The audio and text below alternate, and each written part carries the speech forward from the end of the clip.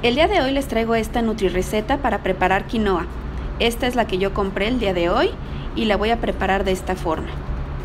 Primeramente, una taza de quinoa la pongo a remojar unas cuantas horas y a partir de ahí en una olla con cebolla y hojas de laurel así como un poquito de sal la pongo a hervir.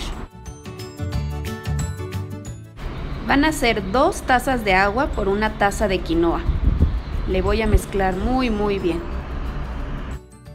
Y a partir de ahí voy a dejarla hirviendo. La voy, le voy a mover un poquito, la voy a tapar y espero a que empiece a hervir.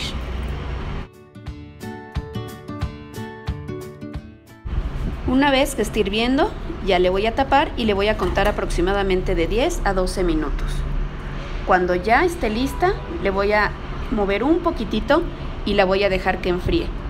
Espero que les haya gustado esta nutri receta y ahora sí, listos para preparar quinoa. Bye.